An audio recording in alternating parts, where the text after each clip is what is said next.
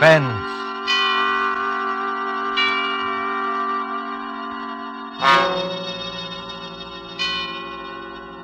This is the man in black, here again to introduce Columbia's program, Suspense. Our stars tonight are Miss Agnes Moorehead and Mr. Ray Collins. You have seen these two expert and resourceful players in Citizen Kane, The Magnificent Amberson, in which Miss Moorehead's performance won her the 1942 Film Critics Award. Mr. Collins will soon be seen in the Metro Goldwyn Mayer Technicolor film, Salute to the Marine. Miss Moorehead and Mr. Collins return this evening to their first love, the CBS microphone, to appear in a study in terror by Lucille Fletcher called The Diary of Sophronia Winters. The story told by this diary is tonight's tale of suspense. If you've been with us on these Tuesday nights, you will know that suspense is compounded of mystery and suspicion, dangerous adventure. In this series are tales calculated to intrigue you, to stir your nerves, to offer you a precarious situation, and then withhold the solution until the last possible moment. And so it is with the diary of Sophronia Winters and the performances of Agnes Moorehead and Ray Collins. We again hope to keep you in suspense.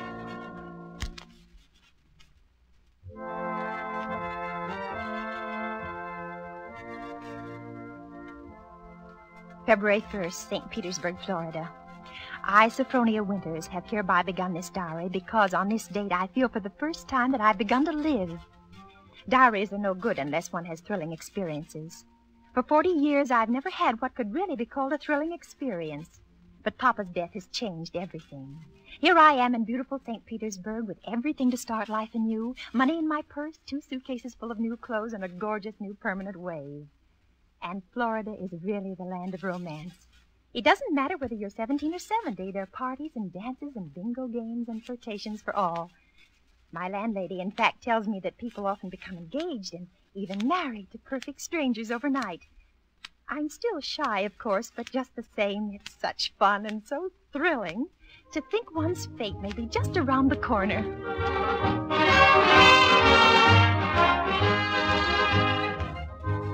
February 3rd. Oh, diary, it is beginning. This morning, when I came out of my lodging house to go down to the beach, I noticed a man, a thrilling looking man, sitting across the street on a bench.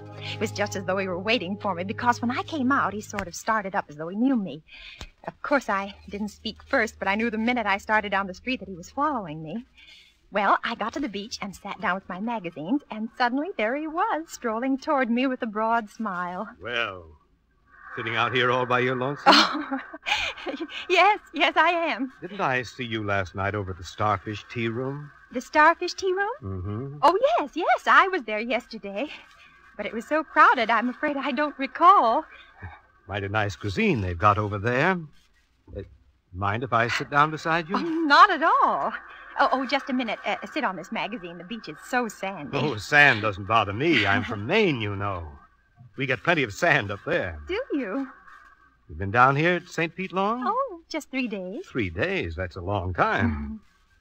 It's a wonder I didn't spot you before. Oh, Mr. Uh, Johnson's the name, Hiram Johnson. Oh. I come from Green Harbor, Maine. Run a big hotel up there summers. Oh. Well, that's my whole history in a nutshell. My name's Sophronia. Sophronia Winters. Sophronia. Uh-huh. Well, you know, that's quite a coincidence. My sister in law's name was Sophronia. Oh? Sophronia Johnson. You ever heard of her? She looked quite a bit like you, too. Sophronia Johnson.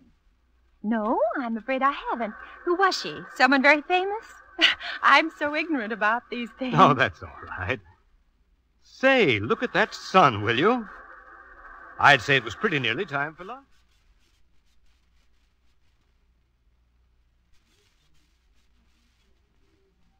And Diary, darling, he is wonderful. Strong and kind, warm hearted, so generous. I don't want to be like the other silly women in this town, but Hiram is different. There's there's something almost poetic about him, something sad and, and deep. You know, Sophronia, it's kind of mysterious us finding that nine point starfish on the beach together.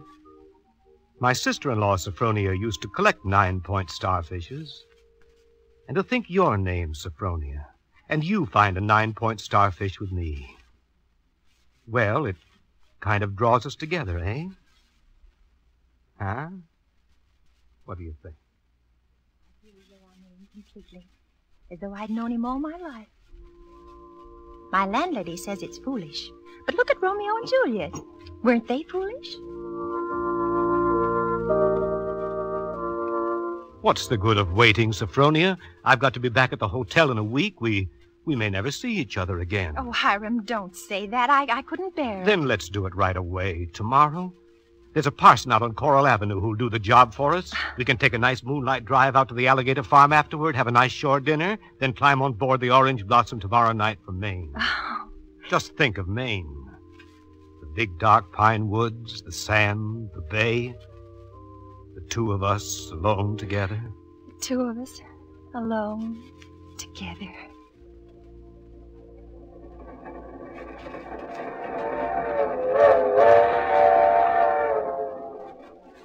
February 7th, on board the Orange Blossom.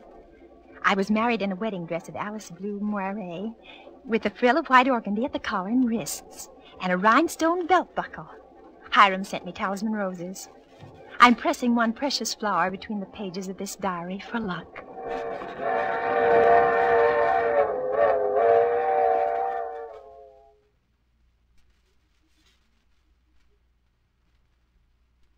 We'll be on this bend in a couple of minutes. Uh, bags heavy? No, not particularly, dearest.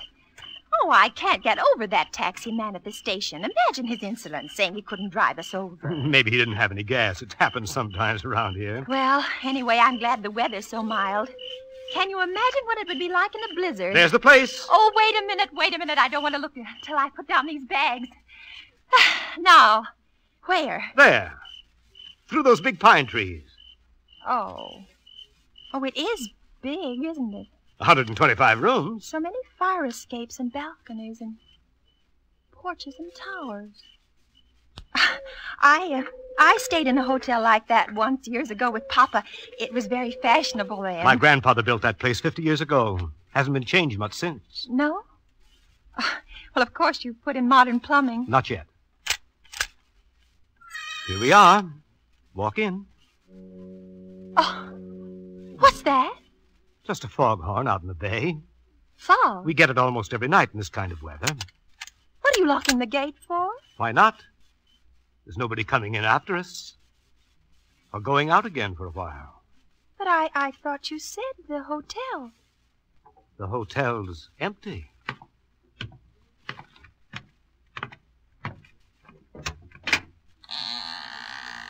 Hiram. What is it now? Hiram, darling, I know it sounds silly, but but let's not go in there tonight. Let's let's wait until morning. Why? Oh, just because it's so dark and empty, there's not a light in the whole place, and no one's expecting us. What do we eat and where'll we sleep? Uh, let's stay in the village just for tonight. I've got things to eat and a place to sleep. Come on. Oh, my arm! Hiram! Hiram! Do you remember my telling you down in Florida about my sister in law, Sophronia? Well, that's her over there on the wall. Take a look at her. Hiram, you hurt me. Oh. The glass is very dusty. She must have died many years ago. But her face is sweet. It's very sweet. And her eyes, it. There's something very sad and wistful about her eyes. She was a murderess. She was hanged in Portland 25 years ago for the murder of my brother Ephraim, here in the lobby of this hotel. She murdered him in cold blood with an axe. That fire axe hanging over there on the wall. Hiram! It was a summer day. There were guests sitting out on the front porch in the rockers. It was just after lunch. My brother Ephraim was sitting at the desk counting his loose change. My mother was crocheting in that old wicker rocking chair. Sophronia came downstairs, humming a hymn. Oh, don't, Hiram. Please, please don't tell me any more. Why not? Well, it makes me nervous to hear it like this in this big shadowy lobby. And and your eyes, Hiram. Your eyes. Hiram, you're acting so strange. Hiram, what's the matter with you, dear? I, I know it was a terrible tragedy, but it happened 25 years ago. Don't touch me, Sophronia. Don't touch you. Do you remember what I said to you in Florida? What did you say? You said a million sweet and wonderful things to me, Hiram. I said you resembled my dead sister in law. Look at her again. Look at her closely. Sophronia. But why? Oh, no, no, I can't. It's too horrible. I can't look at her face with any pleasure now, knowing she was a murderess. You're afraid to look, is that it? No, no, I'm not afraid. Hiram! Hiram, please, my arm. Oh, very well. I'll look. Now, stand there quietly. Like that. Take off your glasses. Ah, that's all I wanted to see. That's all I wanted.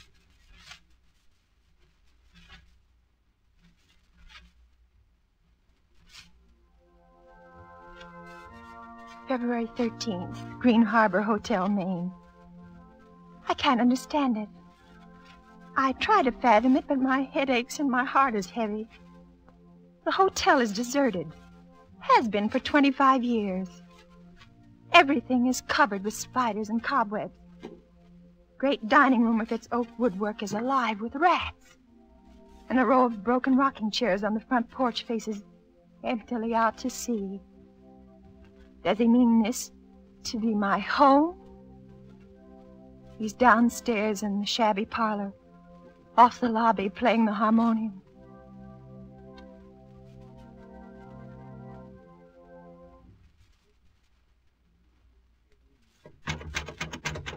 Sophronia, Yes? Yes, Hiram? sleeping? No, dear. Why is your door locked? Come out. I want to show you round the place. It's all right, dear. I I've seen it. I, I've seen just about everything. No, you haven't. You haven't seen the grounds at all. The grounds? But Hiram, it's after midnight. I want to show you where my sister-in-law, Sophronia, is buried. Well, not not tonight, dear. Please, it's so late, and I I have a headache. Open the door, Sophronia. I want you to come now. No, no, I shan't. Oh, go away and let me alone. I won't. I, I won't. I won't. No use carrying on like that. You see, I I have pass keys to all the doors.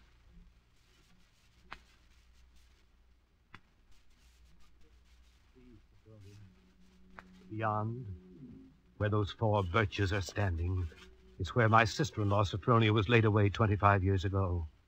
It was the biggest funeral in the neighborhood. Folks crowded outside the gate with the dozens trying to get a look, but we wouldn't let them. Buried her ourselves without a service out here by herself on the grounds. Ephraim's buried in town, but not Sophronia. I had a feeling I'd have to keep an eye on her even then. Keep an eye on her. I knew she was one of those restless sleepers who wouldn't stay quiet in her own grave. I knew before the year was out she'd find some way to start roaming around hunting for mischief again. She was a young she-devil to the core, oh. Sophronia. They could hang her till doomsday. Wouldn't do any good. You mean, you mean the, you think she haunts this hotel? No, no, not this hotel. She never had any use for it, alive or dead. No. She makes for the warmer climates. She was always a cold-blooded little fish, freezing and shivering all the time. Places like California and Texas and Florida, she makes for. Florida? Yes, that's one of her favorite haunts, particularly around St. Pete. She likes the flowers and the sun and the romance. Hiram, I feel cold. Do you mind if I go inside Just a minute, just a minute. I, I haven't explained everything. You think I'm crazy, I guess. Crazy. But I'm a lot smarter than some people give me credit for. Because, you see, I have found her now. Three times. You see that grove of birches over there? Under every one of them's a grave. I've found her wandering the earth in disguise three times. And I've killed her three times. It still doesn't do any good. She's still restless. You, you mean you, you killed three different women? So now I keep another open grave to remind her. It's waiting now. Would you like to see it? Sophronia? No, Hiram. No, no, please, I. Are you afraid to see it, Sophronia? No, I. Hiram, you don't mean to say that you think. Just because my name happens to be Sophronia and that, that I look a little like. Think what, Sophronia? Nothing.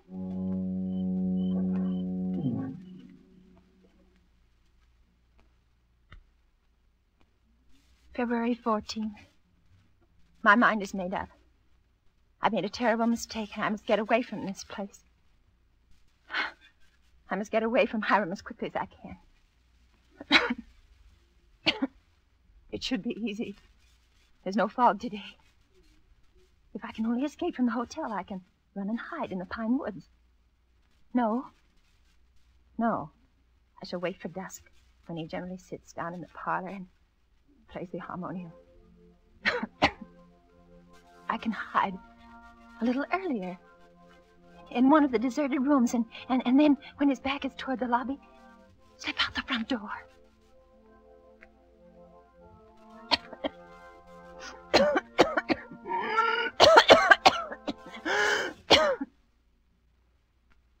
Sophronia?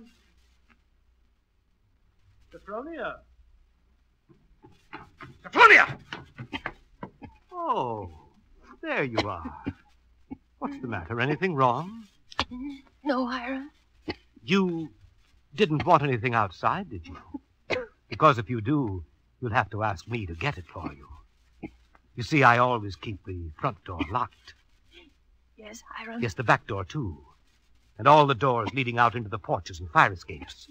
And a good many of the windows. It makes one feel safe from thieves and peeping toms.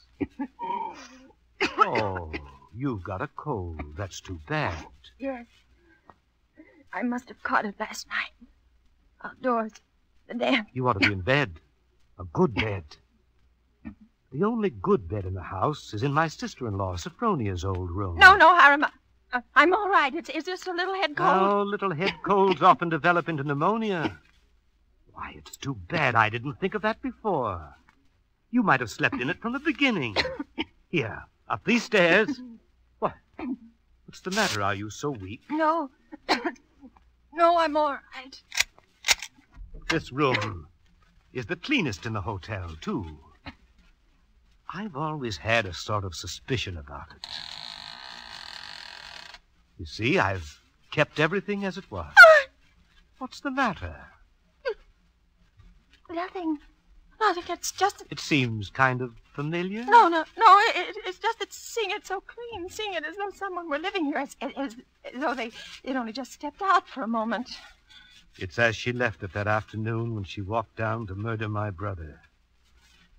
You see her needlework on the table with the needle sticking in it? And her hymn book still open? Mm.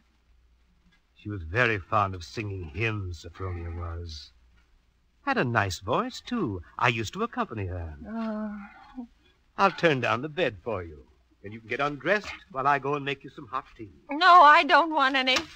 Here's the closet. You can put on one of Sophronia's dressing gowns.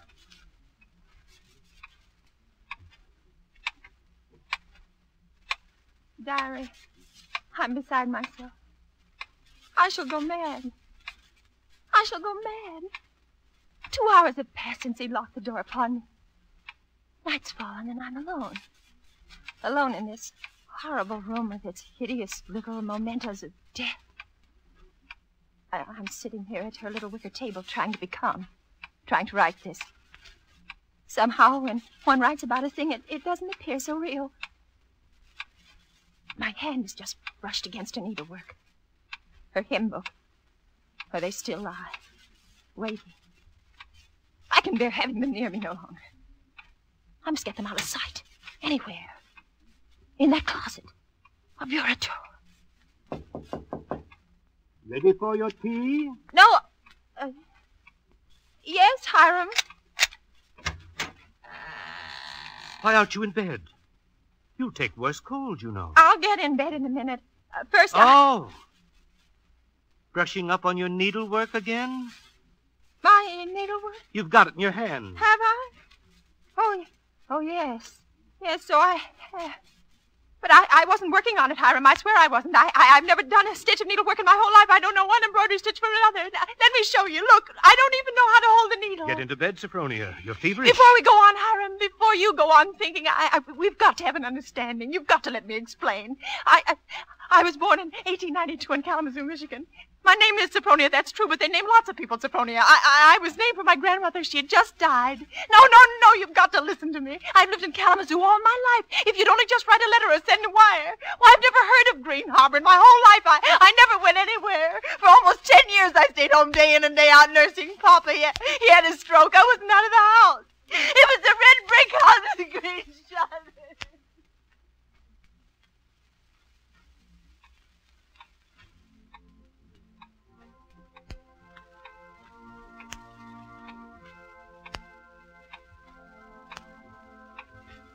February 15th. Now I live only from moment to moment, listening to each creak upon the stairs. I've been in bed all day. It's night now. The foghorn has begun to blow again.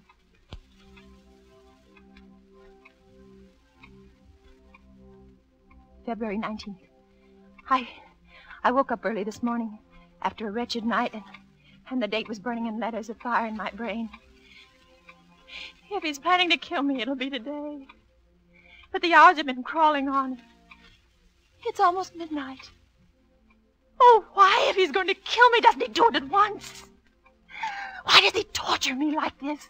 I'd rather be dead than sit here in this room one moment longer. I can't bear it. If he doesn't come in five minutes, I shall force him to come. I shall beat on the door. No. No. Rather let me sit quiet praying that he doesn't come. Oh, I want to live. I want to live.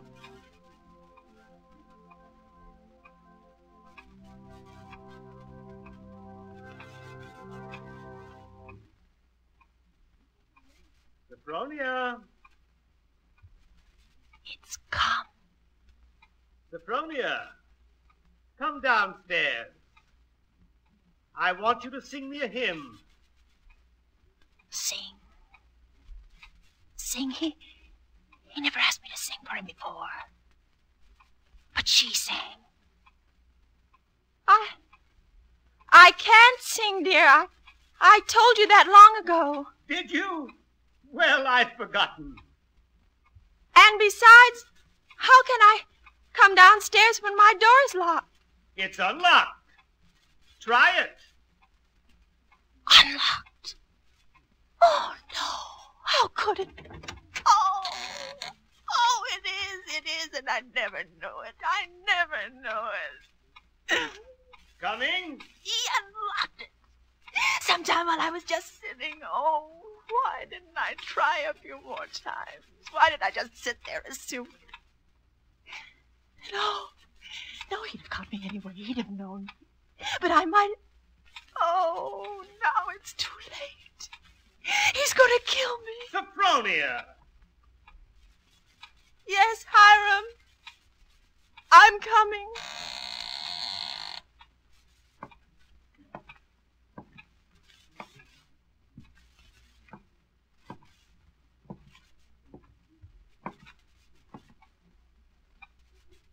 Hiram, where are you?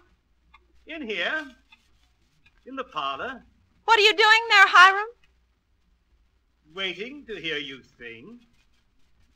You're at the harmonium? Yes. All right. I'll sing. I haven't sung in years, but I might as well. I'll sing for you out here in the hall. My voice will carry better. It always did carry better in the hall, didn't it, Sophronia? So you remember that, too. Of course, you know both the front and back doors are locked. Play a few bars, Hiram dear, to warm me up. Shall I sing, too, Sophronia? Would you like me to sing along with you?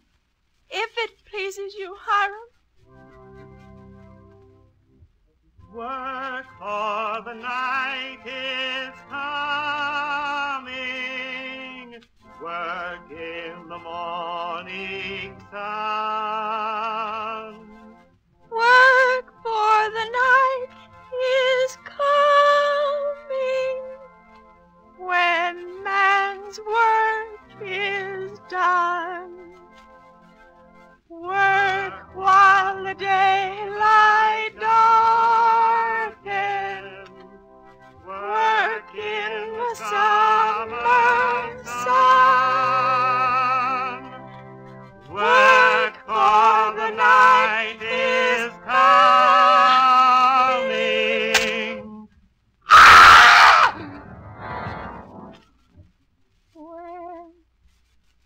Man's.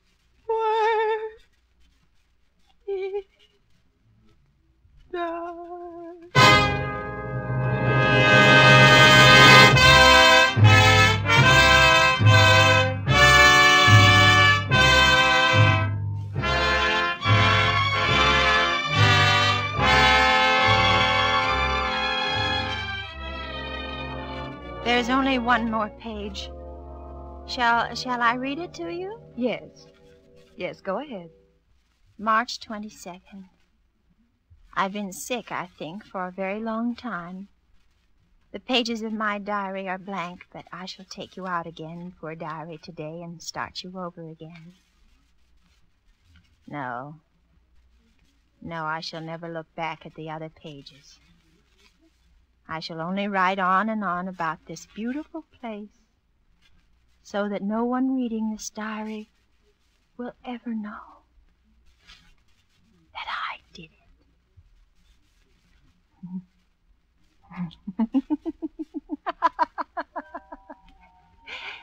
but I did do it, Diary. I was smarter than he. When I opened that door at the head of the stairs and heard the music, when I saw the fire axe still hanging on the wall.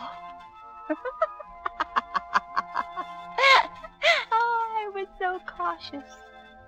So terribly cautious. I tiptoed like a little mouse, even as I sang the hymn into that room where he was playing. But I was clever, so much cleverer than he. I kept on singing. And now I'm free. Free as a bird. I'm free and he shall never catch me now, not this time or ever again, because. because he's dead. Isn't he, nurse? Nurse, isn't my dear brother in law, Hiram, really dead? Yes, miss. He's dead. And now I'll thank you to hand me that diary. The doctor doesn't approve of the patient's writing anything.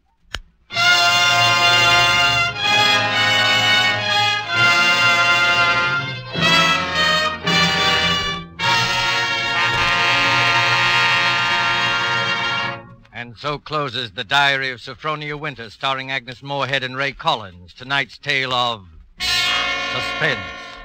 This is your narrator, the man in black, who conveys to you Columbia's invitation to spend this half hour in suspense with us again next Tuesday when Richard Dix, Gale Page, and Montague Love star in Death Flies Blind. The producer of these broadcasts is William Spier, who with Ted Bliss, the director, Lud Gluskin, the musical director, Lucien Moraweck, the composer, and Lucille Fletcher, the author, collaborated on tonight's Suspense.